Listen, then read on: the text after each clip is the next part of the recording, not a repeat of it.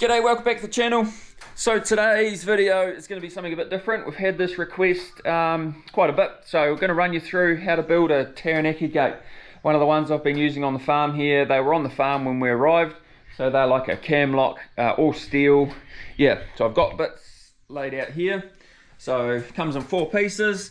We've got uh, the base at the bottom that the leg fits into. We've got the main piece with the handle on it, and then you've got the hook there that goes on the top and then on the post side that's connected to the post you've also got uh, this here where your netting fits through and then one of these gudgeons will fit through there and go onto the post. So um, there'll be a cut list in the description of this video all the different measurements and bits and pieces that we use. Uh, yeah so we'll get to, I've cut everything out so I've got all the bits and pieces. Where we'll get to welding all that up get it sorted, and then uh, I'll show you how to install it as well. So full video, full how to. Um, yeah, hopefully it's helpful. Let's get into it.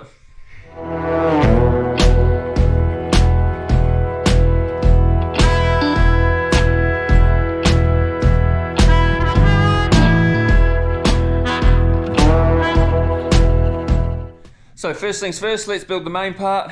So that's this, that's the handle. Um, I've got a couple of options here for the handle. So if you've got a pipe bender, or you can access some bent 90 degree angle pipe. That's what we've got there. So we're 200 mils from the bottom to the middle of the bend or the top of the bend there. And we're 400 mils from there to there. Uh, here's another option. So I just used a couple of pieces of galv pipe that I had lying around that's been threaded. So it's a good use for uh, all those bits and pieces you've been off uh, storing away and um, you can use them now. So just a, uh, just like that, if you don't have a pipe bender, or what you could do is just have two pieces of pipe, 200 mil long, 400 mil long, weld them together, be a 90 degree angle. I've seen that in some other farms as well. So the next piece for the uh, for the handle, we've got our we've got our top handle piece, and then what we want to do is grab a piece of flat bar. So these are actually just uh, flat standards. You see them quite a lot here in New Zealand. So what we want to do is that gets welded on like that. The dimensions of this is, um, I think they're 30 mil, yeah, 30 mil wide by five or six mil thick. And these pieces are about 75 mil long. So two of them.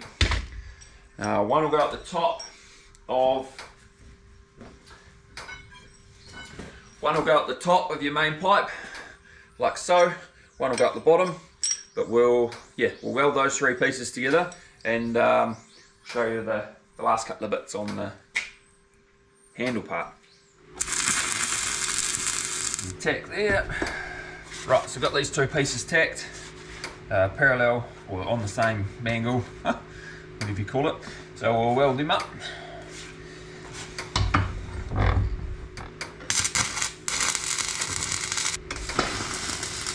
So now we've got our main bar, uh, two tabs welded on each end, like so. We're gonna put it back in the vise, weld the, the foot on, uh, which is, where is it? 25 mil pipe, uh, 70 mil long. So that just gets welded on like so.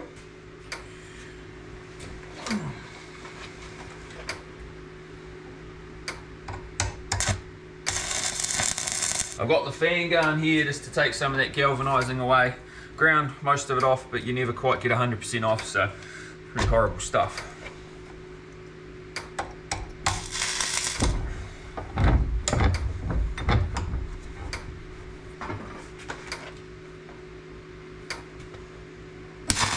Right, so there's our pipe, it's got the foot on, main pipe, two tabs, we'll do the handle. Uh, so the handle's probably the trickiest bit out of this whole design to get right. So if we've got that sitting flat against the concrete, that is how high uh, that top of that handle is off the ground. So I think that's probably the best way to show you guys what the offset is. So what I did to work out this is if we have this pipe here sitting just like that on there and it's 260 mils. I'll show you on this one. Between the bottom of that and the ground. So you see these pipes, these flat plates here, sitting flat on the ground. Yeah, 260 mils. So that's the offset uh, that you need to make the lever work and to make it self-lock when it's locked in uh, and the Taranaki gate's tight. Uh, so we've got that in the vise ready to weld. There's our mark. Mark there, mark on the bottom. That's the offset. You can see straight through there. Hopefully that works. So there we've got our handle welded on. That's the angle there, offset. Uh, last thing we've got to do is just weld on a support stay which helps it lock in when it um, is fully locked. So I'll show you on this one. It's just this here. That bit there. Oh, can't really see. We'll find some light. There you go. That bit there. So it's just a piece of 10 mil rod. It's about, what did I write down? It's about 190 mils long. So I do have a piece of square square rod here. Doesn't have to be, obviously, doesn't have to be round. Um, and it's going to come from it's going to come from the left hand side straight up onto the top uh, just like that if you can see so we'll weld this on and I'll show you properly so just before I weld this we'll mark it and grind away the galv off this pipe um, it needs to be cut about there. And we need to grind some galv off, give us a good weld in there. Right, so we've got a handle all welded up. I'll just uh, I'll just show you this again. So if we push this down, have that both of these pieces sitting on the ground. So the handle part sticking up in the air, 20, 25, 250, 260 mils is the angle, so we're sweet. That's the old one, that's the new one, handle's done. Now off to the bottom and the top that join the handle onto the post and make the cam lock action. Right, next step of this gate process is doing the latch. So what we're going to make is one of these. As you can see there. So what we've got is a big washer and it is uh, these ones here we'll find it. Uh, catch. Washer is 80 mils on the outside 39 mils on the inside that hole there and it's about 4 mil 3 mil 4 mil thick and then a piece of pipe 20 mil pipe by 90 mil long. So I'll show you what we do here. So what we want to do is bend this washer over. So we set it up in the vise. So it's about Actually, let's draw a line. Draw a line halfway through. About there. Set it up in here. We'll get some heat.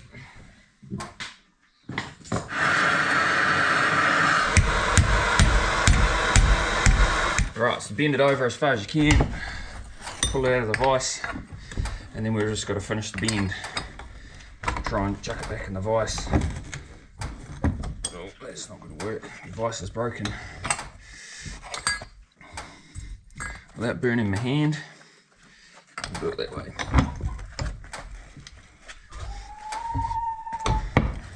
Let's work it, squeeze it together.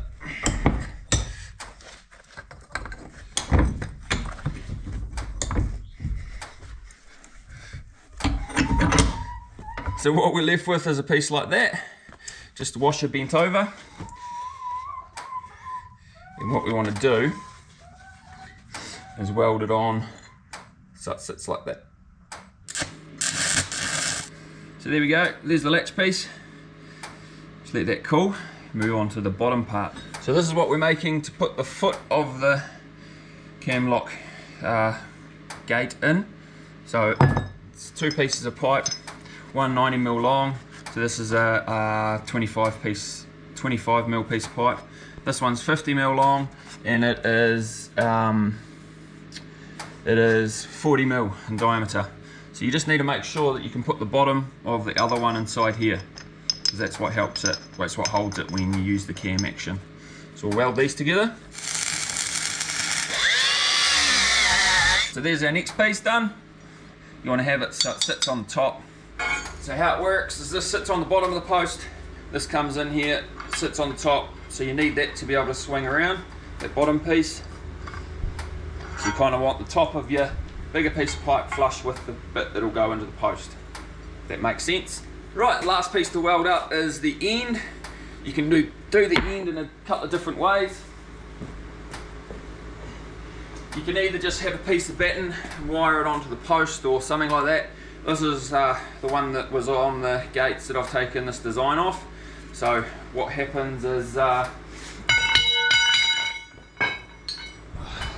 what happens is we use a piece of gudgeon, a bit of a gudgeon to go through there and um, and then use that to to be the other end of the gate.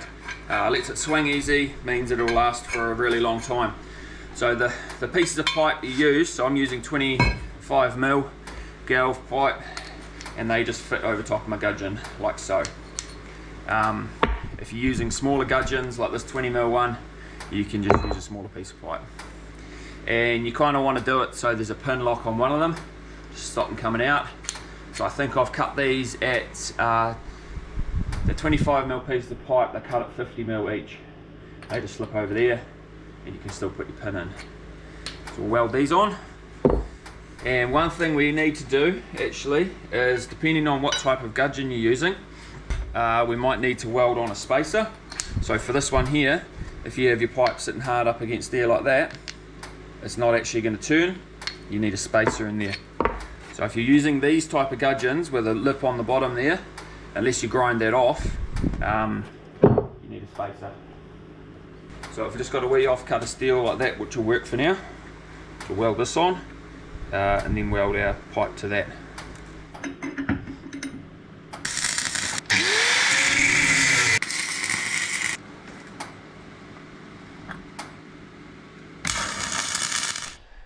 So there are all our pieces made up. Uh, let's go and install it. All you need now is some bolts like this here that will fit through your post and through uh, your two pieces, top and bottom, like so. Uh, and then some washers and bits and pieces. So I'll show you what we've got here. We've got a bolt, a washer to go on the end there. That goes through there. It'll go into the post, and then you've got your nut for the other end. Uh, maybe another washer as well. So you need two of them. So I've just tied the end on to this netting uh, before we go out and install it. What I like to do is actually drill a hole. As you can see there, there's a hole drilled in so it's top and bottom. Um, that just helps the netting keep in place and make sure it doesn't slide off the top or off the bottom. Uh, with the other end, it won't matter because we've got these cams here, these pieces here, so they're not going to slide off.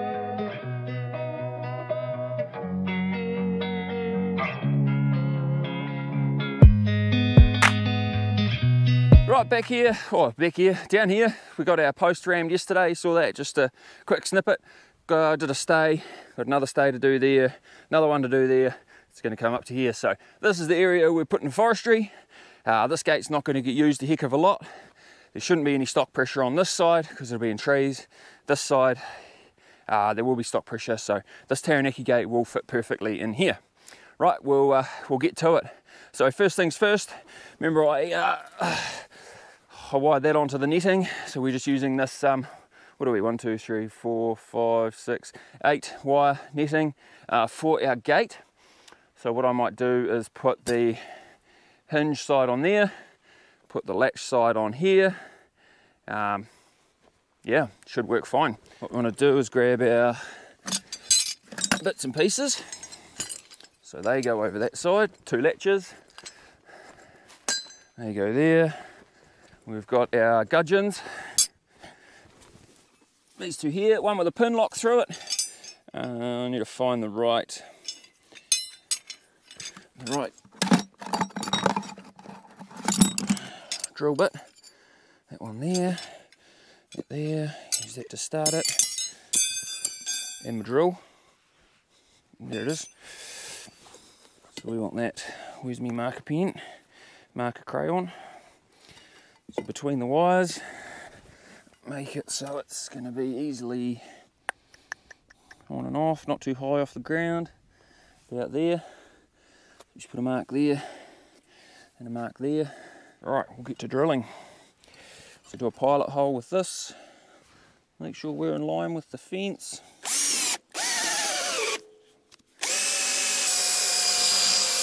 So just using this other drill bit just to make a bit of a pilot hole to get the gudgeon started. So we'll, yep, that's your right. So another trick, put a wee bit of grease on the threads of the gudgeon, these screw-in ones, makes them screw in easier. So you can, uh, it's pretty hard work when they're dry and hard. So we'll give it a whack, start it off.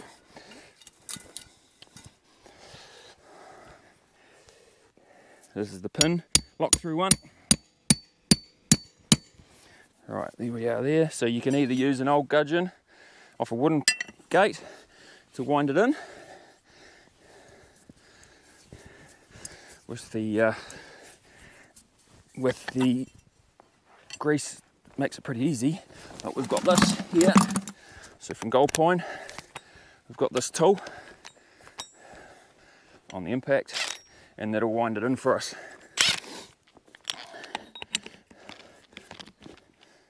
If it fits, might not fit on this one. No, it doesn't.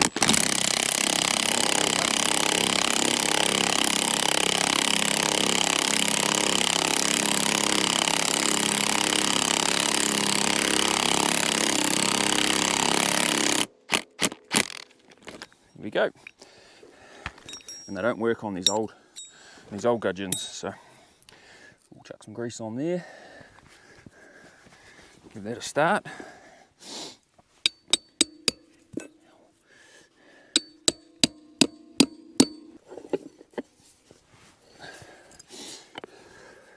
Right, try and get them the same distance out from the post for now. We can always change it later on. go.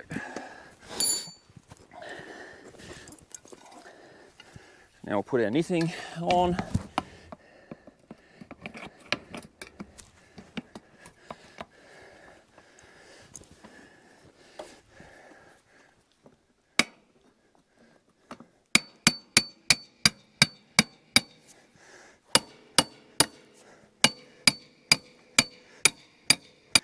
Set on. Now we'll do the latch end.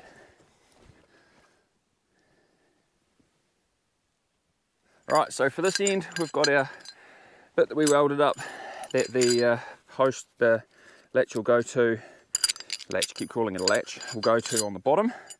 So there it is there. So that needs to sit about there.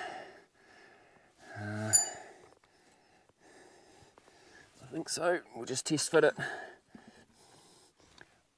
Yep, that gives us plenty of room at the top of the post to do our other end. Right, we're all the way through. Put our bolt through, put our end on, and a washer, and a nut. Right, we'll mark out this end. So if that goes in there like that, you want to make sure your two ends, two pieces of pipe where you put your bolts through, are on the same side. So if we put that one through about, about there, about what, 50 mil off the bottom of this. So we set that in about there. Put this one in, through from the back. Give it a whack. It's coach bolt that one, so a wee bit different. Put this on, Ooh, we've just got enough length, so that's good. All right, give that a bit of a tighten up.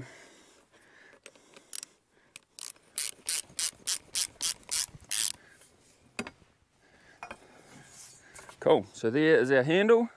That's all done. So last piece of the puzzle, we'll bring the netting over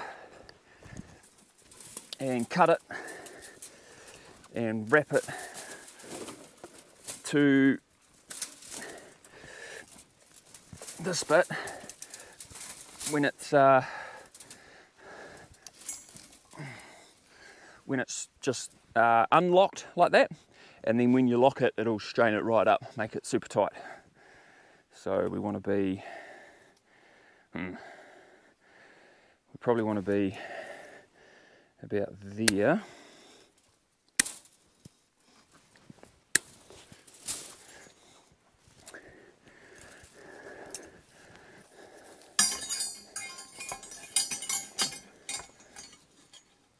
yeah, I'll have to take that, take this up right off.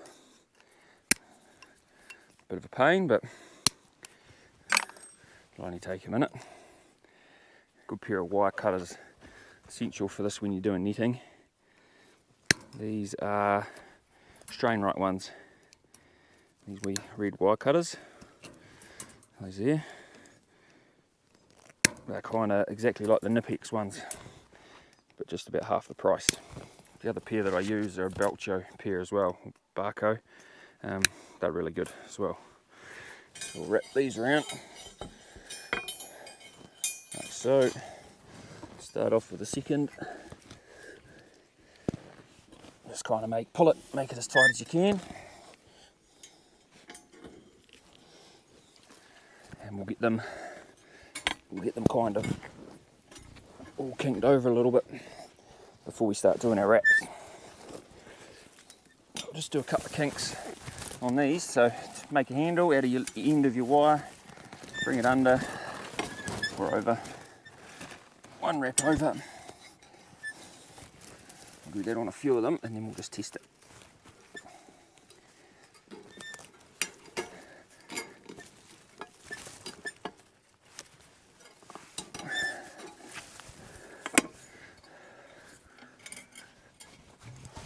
That's tight, it's good. So there we go. Wind off the rest of them.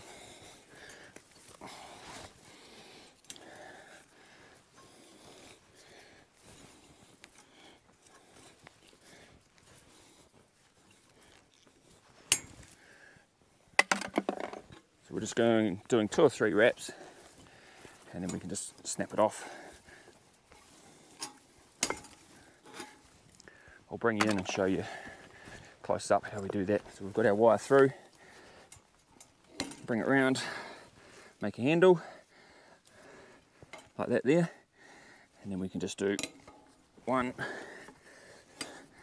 two, three wraps.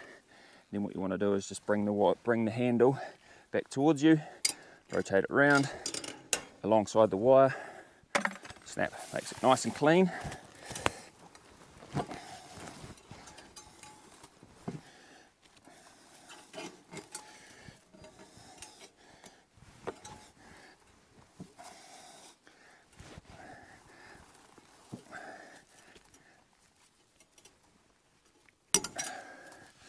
Right, so as you can see, show you from the top here how it works. So this is the action as we close it. It tightens up. Oh, she's tight.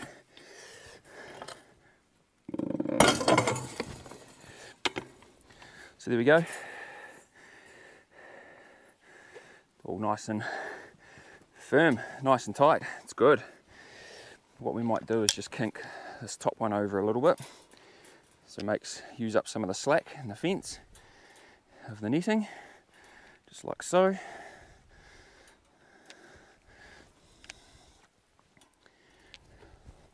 Straighten out these uprights of the netting, make it look all pretty.